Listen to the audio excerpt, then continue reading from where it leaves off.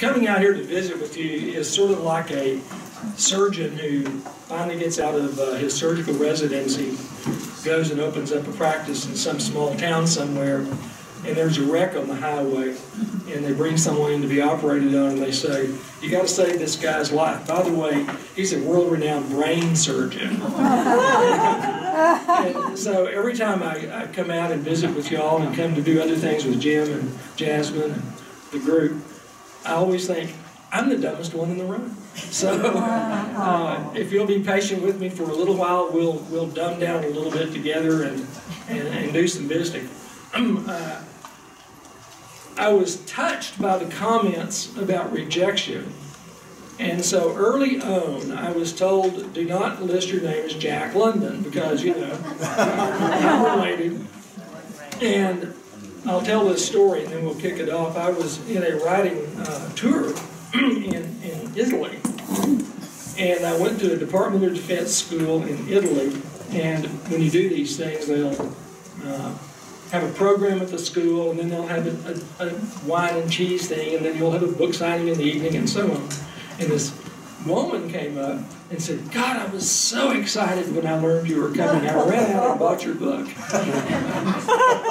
Would you sign it? you know where this is. So she, she hands it me Call of the Wild. and I held it up and I, I turned to the back picture and there's Jack. I opened the copyright page and it says 1904.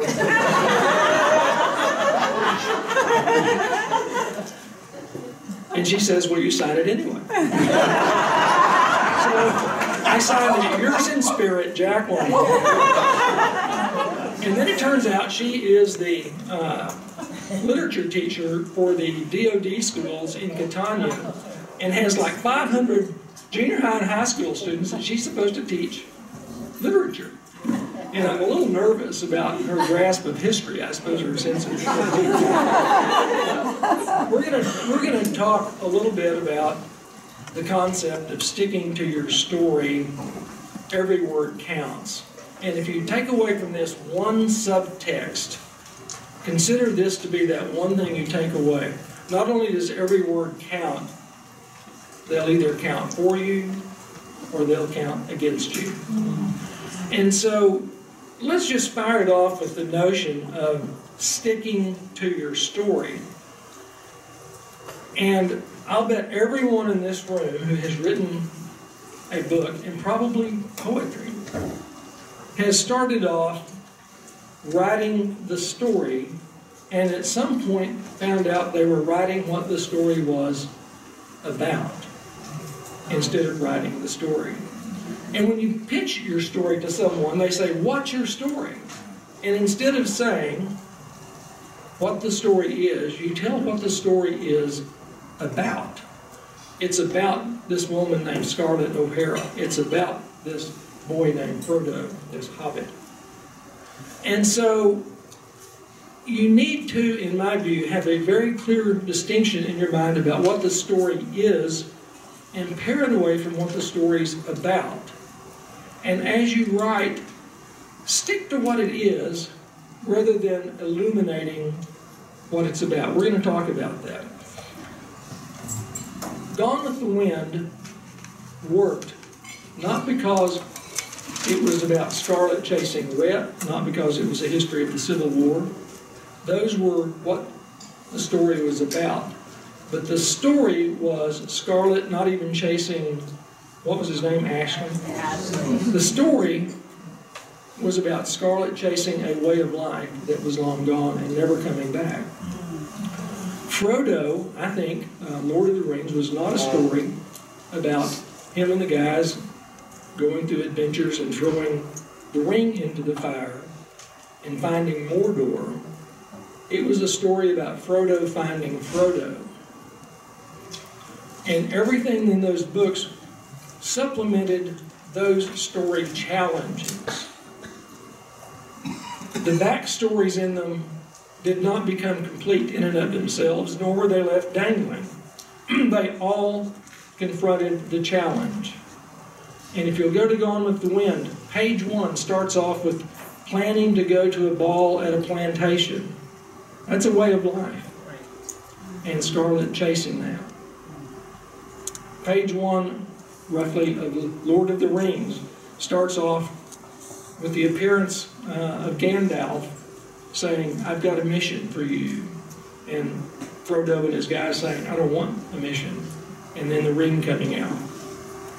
the second part of sticking to your story is knowing who your audience is and writing the story for your audience. And you need some internal honesty in that process. If you want to be the next Hemingway or the next Jane Gardam or whomever, J.K. Rowling, then you need to be able to write as well as they did, and you can do it. But if your audience really is 500 people, then you ought to be really proud that you can write a story for 500 people. Not that you're a failure for failing to attract a million people. Your craft is in your story, your craft is not in the volume of your audience. I want to tell you a story. Um, will you give me, move forward one slide, maybe, let's see. That's what this is about. One more slide. It's very hard to see in here. When Rob and Jim told me last night I had a slide projector, I said, Can I throw up a couple of images? And they said, Yes. In Paris, there is a museum of Picasso. Probably some of you have been to it, many of you have heard of it. I would bet the number of us who truly understand Picasso's art is a little smaller. But the story is uh, well known about it. a couple of uh, a, a tourist who takes his 14 year old son to the Picasso Museum and they look at these two images And the dad says, Who wants to say? My 14 year old son can do that. Yeah. yeah. Okay? Can I have the next image? And the curator says, before your 14 year old son needs to be able to paint those, your 14 year old son needs to be able to paint this. And this is the image that Picasso painted of a young woman on a deathbed when he was 14 years old. I'm sorry I can't show it to you any more clearly than that. But this image tells a story. It has characters, a conflict, and the third ingredient we'll talk about in a moment. It is a woman on her deathbed. The title of it is uh, something like Science and uh, the Afterworld. If you look on the left, there is a doctor taking the woman's pulse. Is she alive or is she dead? On the right, there is a nun holding the woman's child. So you have the conflict of science and religion. You have the conflict of life and death. You have the conflict of mom fearing for her own life as well as for her child's life. And they're told with absolute clarity that anyone seeing that picture can understand. Now, what's the moral of my story? The moral of my story is that before you start painting like Picasso's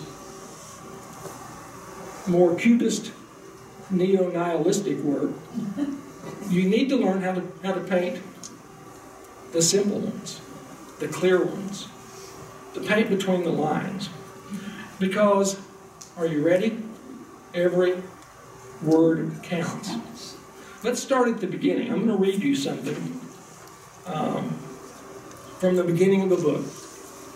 Renowned curator Jacques Saunier staggered through the vaulted archway of the museum's grand gallery. Okay, what's the, what does that tell the reader?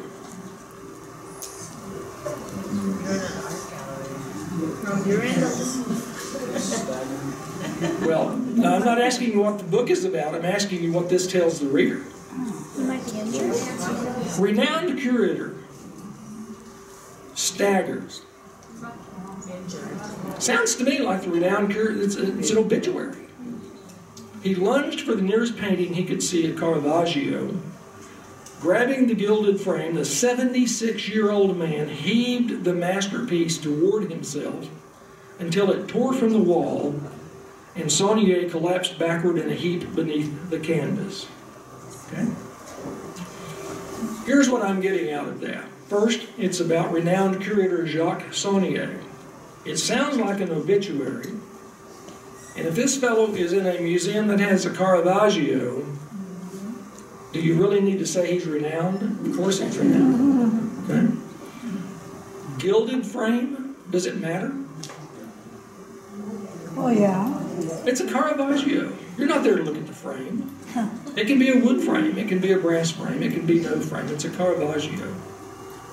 76 years old. Obituary. You're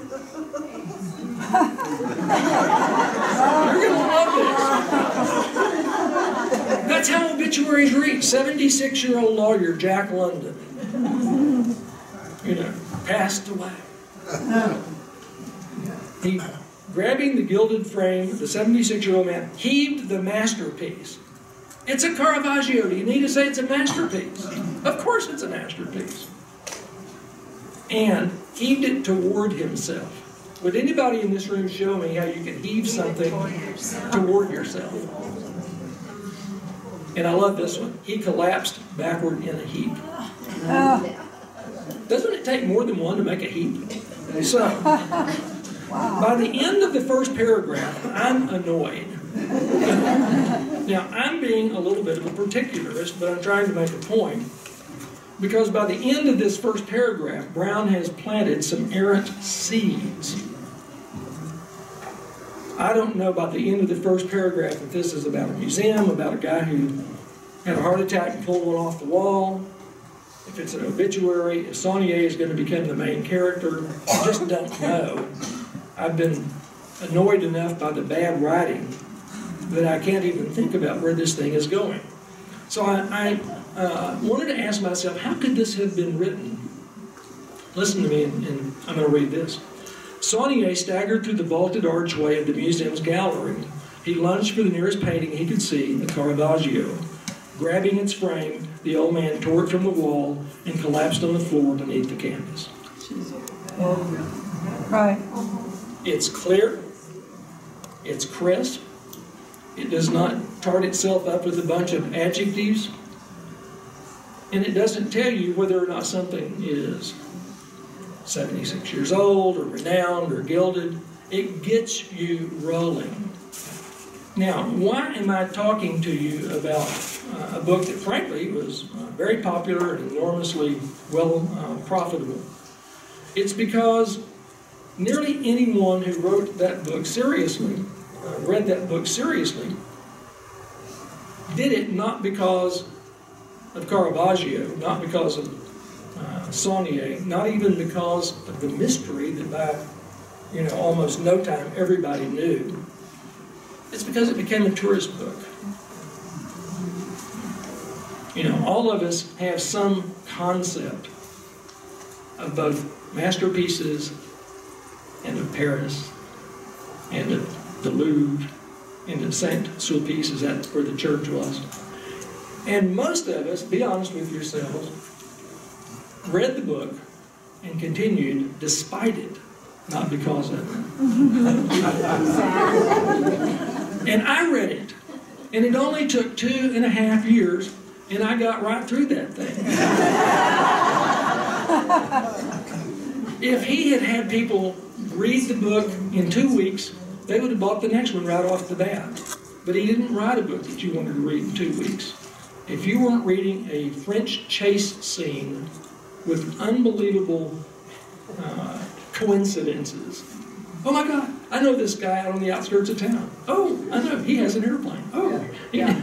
You know, and they all happen to be in the same secret group. So, back to Picasso. Would you rather write between the lines where people will read it and build your craft? Or would you rather write books that are not very well written that are going to hit some of those rejection slips? That's the task. Okay? Where to from here? We've already talked about the concept of what is your story. But let's talk about the three things that readers look for when they open a book. Number one, what is this, who is this book about? Who in this room reads the first page or the first page, a couple of pages? And what you're trying to find out when you read them is who is this book about? Everybody? Nobody? Okay. And one, number two, what is this book about? You're probably reading it because you saw something on the jacket cover or in the book reviews or because a friend told you. This is a book about the museums in Paris or this is a book about a secret society. Okay? Who wants to take a stab at what is the third thing that readers look for when they begin to read a book? Why should I? Why is it interesting? Where do I come in? What role am I going to play in this? The reason is because if we don't see ourselves as a character or in the room watching the characters, we lose touch with the book pretty quickly. Someone asked me what my favorite movie was, and I said Casablanca. And they said, What role did you play? I thought, Oh, wow. That's, that's pretty thoughtful insight. And I said, um, You know I played. So, and so, what we're talking about is in order to make your reader find where your reader enters the book, you have to pay attention to Elmore Leonard's 10th rule. You have to leave out the parts that people tend to skip. And the parts that people tend to skip are the parts where the reader doesn't see himself or herself as one of the characters or see himself or herself present in the scene watching. If you write things that are about people they don't care about, don't want to become a part of, or if you write about things that are so alien to the experience of an ordinary person that you cannot stay with it, you can't imagine this happening to you or someone you know or someone you care about, you tend to put the book away. So do your readers. So the parts that people tend to skip are the parts that are not intimate to their experience or the parts that they can't see themselves playing for themselves. Even in historical fiction. If you're writing about uh, what were all of those Philippa Gregory books about the uh, Woodville family, great family, the Woodvilles are great folks. If you don't see yourself as a woman in one of those rooms, either one of the Woodville women, or perhaps one of the Yorkist women, or one of the women who helped them, or if you don't see yourselves as one of the Yorkist or uh, Lancastrian fighters, you don't care about that book. If you want to read about the history of the Wars of the Roses, you'll just go read a history book. But if you want to read a novel about it, it better have you in it. Okay? If you're going to write a thriller, and I know a lot of our members in this room are not only thriller writers, but are really good thriller writers. I'm going to give you a piece of advice. No one reading your thriller book cares about the different models of handguns, rifles, and assault weapons. Yeah. No one cares. I do not see myself as having some Russian made nine magazine automatic something. And even worse, they don't care what the villain has. The villain has a weapon. It can be a gun, or it can be a rocket, or it can be something. But you don't need to give the technical specifications. If you're writing a military book, you get to use two numbers and that's it. That's all. You only get to say First Army or Second Platoon. The more you start coming up with the 305th of the 416th, on detail in the third sector of the fourth quadrant. Uh, yeah. And you know why? Because it's the same problem as the Da Vinci Code. You're sending a signal that this is important when it's not. In the early pages of the book, no one knows what's important. And if you put words in the early pages, we readers think this is important. I think it must really be important that he that it was a Caravaggio. I think it must be important that he pulled it off the wall. I think it must be important that he was renowned. So that's the place at which you lose your readers when you're putting in things that your readers really neither care about or get confused about, and 10 pages later on they find out this really didn't matter to them. Okay? So, how big a trap is this? Who knows Kazuo Ishiguro, who just won the Nobel Prize for Literature? Everybody knows Kazuo Ishiguro. Please tell me you. He, he's the author of The Remains of the Day. He also is the author of a book called An Artist of the Floating World. He's an artist of a book called Never Let Me Go. You may know those books, you may not, but they're phenomenal books. And he's also the author of a clunker called The Unconsoled. I'm going to read you a, a little bit of the review of The Unconsoled. I'm not sure precisely how to read this book, uh, but at any rate, what I'd like to talk about is not what is being enacted in these pages, but the strange dynamics of the book's plot. It has an extremely, extremely digressive plot, so digressive that it would not be wrong to describe it as nothing more than the continued repetition of delayed gratification because the protagonist never finishes a single thing he sets out to do. And this happens again and again and again for over 500 pages. It's like when a cartoon character suddenly reaches off screen to grab a rocket to throw it to shoot at his friend. Why did he do that? Why not a ray gun? Why not an anvil to drop on his head? Why interrupt the protagonist to do it at all? Why not interrupt him for that? Or 50 pages back, the book feels arbitrary as though I could have skipped 100 pages right in the middle of it and more or less had a worthwhile experience as if I had actually read those 100 pages. That's pretty harsh, and that's what happened to a Nobel Prize winner. And every Nobel Prize winner for literature that I know of has one of those clunkers in the closet. Uh, has anyone read Ernest Hemingway's Across the River and Into the Trees? And has anyone finished it? It's an awful book. and the reason why is because the authors become so infatuated with the minutiae experiences of their characters that they don't stick to the story. Okay? Now, here are some hints on how to leave out the parts that people tend to skim. I've already told you, do not hide your story from the reader. That's what the Da Vinci Code did. Number two, don't over describe your characters. Has anyone read a book called Catch 22? Let me see if I can find what I brought to read about Catch 22. Somewhere. Maybe. Maybe not.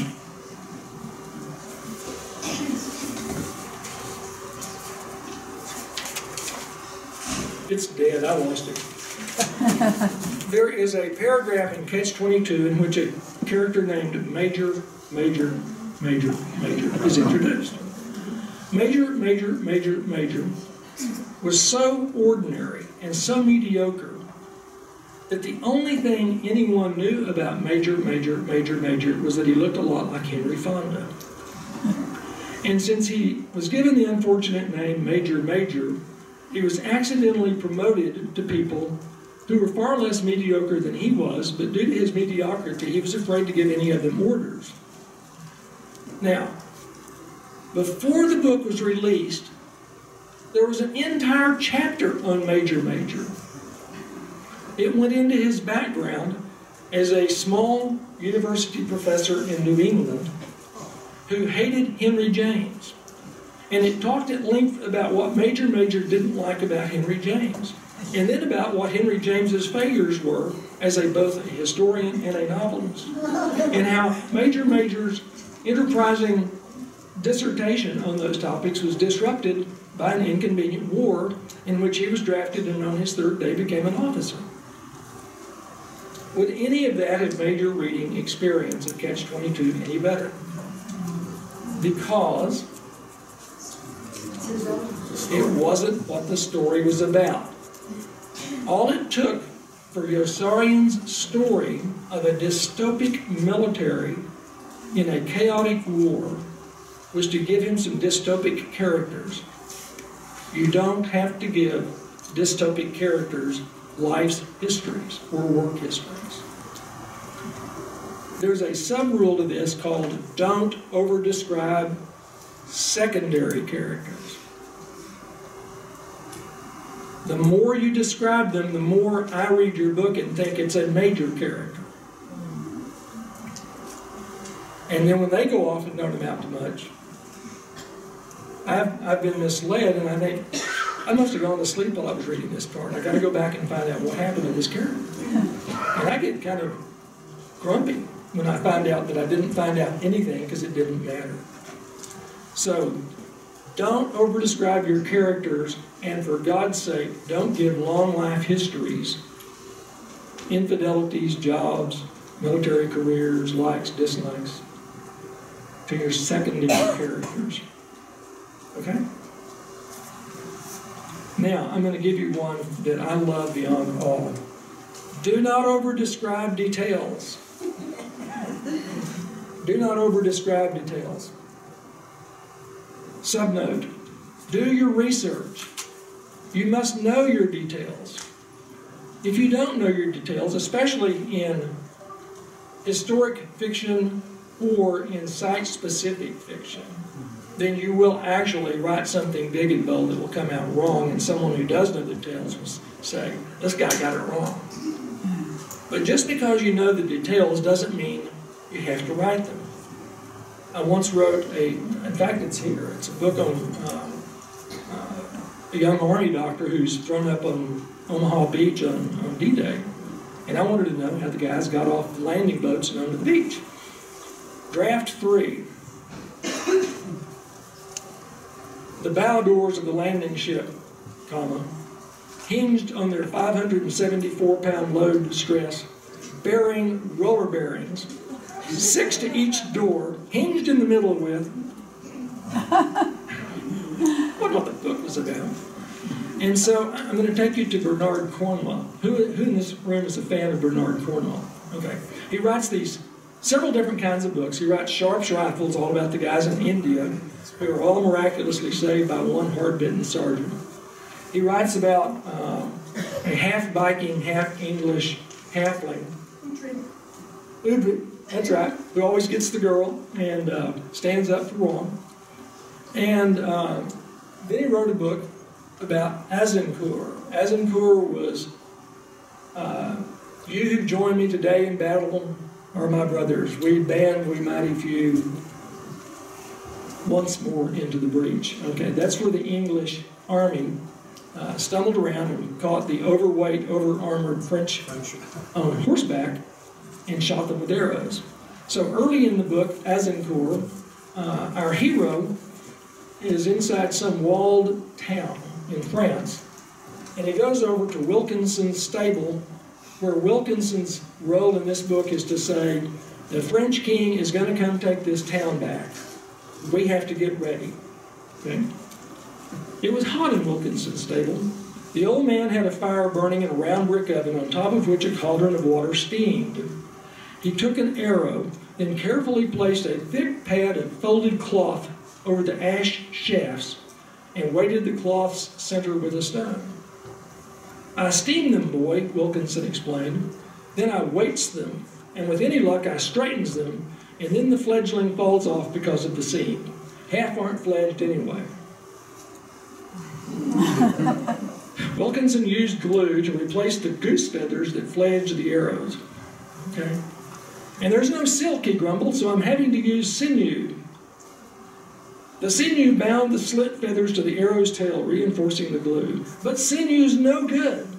It dries out, it shrinks, and it goes brittle. I've told Sir Roger we need silk thread, but he don't understand. He thinks an arrow is just an arrow, but it isn't. Wilkinson tied a knot in the sinew, then turned the arrow, which would lie on the string when the arrow was shot. the nock was reinforced by a sliver of horn that prevented the bow's cord from splitting the ash shaft. The horn resisted Wilkinson's attempt to dislodge it, and he grunted before taking another arrow from its leather discs.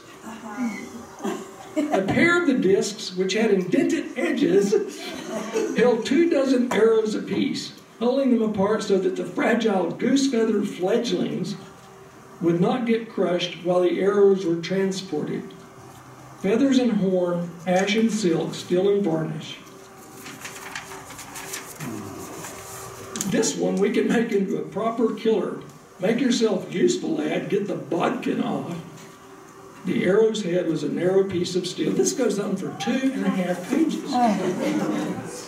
And it's on page 38 and 39 of the book. So, knowing that the title of the book was Azincourt, even spelled in the French spelling, I thought this is going to be a book about how the arrows were made won the war. no, this was a book about one bowman who gets the girl, uh, defeats the opposing uh, French forces chief knight, and does anyone remember that it happened on St. Crispin's Day? St. Crispin's Day. Because he has uh, been in this little village attacked, he actually has personal uh, extraterrestrial communications with St. Crispin himself, who tells him how to avoid being killed at different times during the course of this event. That was a hard book to finish. And I finished it in record time. Uh, I, uh, I read the entire three volume set of the Durrells in Corfu. Uh, that's about 1,100 pages. I read the four volume Elena Ferrante series, uh, all set in Naples, 2,100 pages. All of those before I finished reading. and then I would go to sleep one night and say, you know, I really need to go to sleep. I'm going to pick up Bernard Cornwell and. Uh, it's not up there. It, it, the opening slide had not only my name, which I'm told I'm going to have to change, but it has my email address. Uh, that's me. And it has jwlbooks.com, which is my literary website, on which I publish book reviews, my own reviews. And I review books on, it's called On the Nightstand. I review books and rate them based on the watts they give off. A 100 watt book keeps me awake all night. I'll read and read and read. A 20 watt book is about a two page boom, I'm asleep book. And then there are all these gradations in between. And my 100 watts might not be your 100 watts. My 20 watts might not be your 20 watts. I would be hard pressed to find anyone who stayed awake all night reading about fledged arrows and bodkins and, leather discs. And it helped me immensely. I was the best rested in that time of my life. so, what we just talked about was number three don't over describe details. Couldn't he have said everything by saying, whatever our hero's name is, went to Wilkinson's shop? And while they worked on the arrows that would be necessary, Wilkinson told him what to expect in the coming assault when the French forces arrived. Doesn't that do it? And then number four, and this is the one that people tend to really do well or really struggle. Dark, uh, it's dialogue. When you write dialogue, write dialogue the way people actually talk. Have people in their dialogue do things that people actually do. And we're going to spend a little bit of energy. I hope a lot of y'all are going to stick around for the workshop. These are fun, but we're going to spend some time this afternoon learning how to talk about how like people actually talk and doing things that people actually do in order to write novels that are set in a different time and in a different place. It could be historical fiction, it could be thrillers, it could be anything, but it's not set on Eubank Avenue in Albuquerque in 2018. But when you're writing fiction, you lose readers fast. When you write dialogue that goes on for sentence after sentence after sentence, except for speeches, we don't speak in five, six, seven sentence strings. And when we reply, our replies are usually one of two kinds. Usually we either say, that's a good point, or I agree with you, or what have you. Or we disagree and argue and reply in one or two sentence explanation replies. And when you're having a conversation between your characters, whether they're primary, secondary, incidental, they need to be engaged in doing things that people actually do because maybe that's the character that your reader sees himself or herself in the book. If they're doing things that no one ordinarily can see themselves doing, people don't believe you. I'm going to give you an excerpt uh, from a thriller. The gist of this story is a book um, where a hero in Washington, D.C. parses out that there is a plot not only on the president and the vice president and most of the other people in uh, the cabinet to kill them all and take over, but there is a, another plot going on in which women who've all been uh, members of the military were sexually abused by a superior uh, NCO or a superior officer who then lied about it and never got punished. And so these women have all decided they will follow a dark angel who will have them uh, strap explosives to their bodies and go into officers' clubs and kill everyone. Um, that's kind of a far fetch. and here we have one uh, who is mad. There was a guy named um, Toomey who apparently abused some woman, and the dark angel uh, carved Toomey up and left him dead on the beach, and that made all of the women willing to become acolytes of the dark angel, including this acolyte, Sergeant Margot Collins. Paced back and forth in her motel room, she had arrived in Fairfax, sad and lonely, after leaving her friends in New Jersey, frustrated at being kept separated in this place, not able to talk with anyone in case she might slip tipping them off as to what she was about to do. She watched the stars out of her window, wondering when she'd leave. The time for her mission had come. She felt ready, tired of the depression that engulfed her, and sick of everyone looking at her with sorrow about the rape. Men, her best friend didn't want to touch her. As far as he was concerned, she had been branded soiled goods. All because of Toomey and his buddies Colonel fucking Toomey. The Dark Angel had paid him back. Now it was up to her, Margot, to get the others. She would make the Dark Angel proud. There really is some dialogue in it. Collins turned away from the window and got down on her knees to pray for strength. Strength to forget the weakness of the body. And after her prayer, she rose.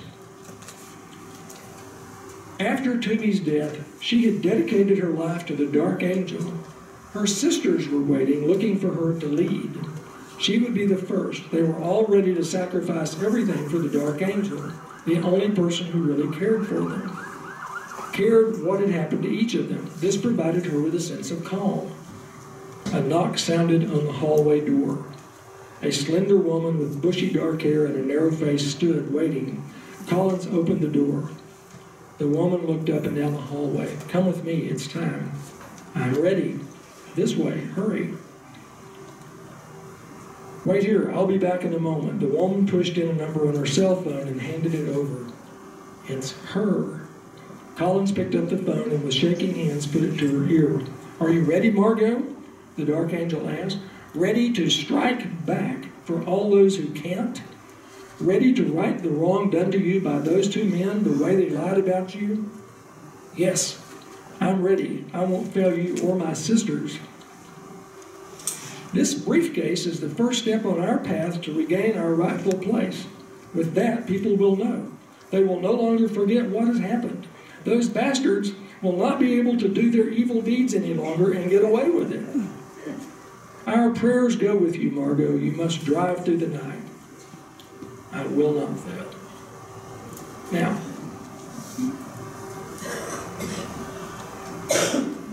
those didn't sound like humans. Um, I could make myself wrap around the idea that women had in some way formed a group bent on revenge.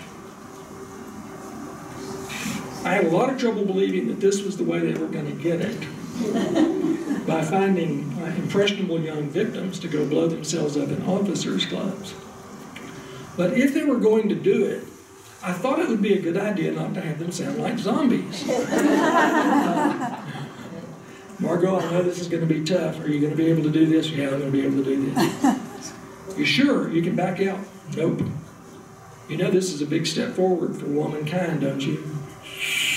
I hope so. Well, you know this. It's like the difference between uh, scrambled eggs for breakfast and, and bacon. Do y'all know what the difference is? Yeah. for the chicken, it's a day's work. For the for the pig, it's you know you're all in.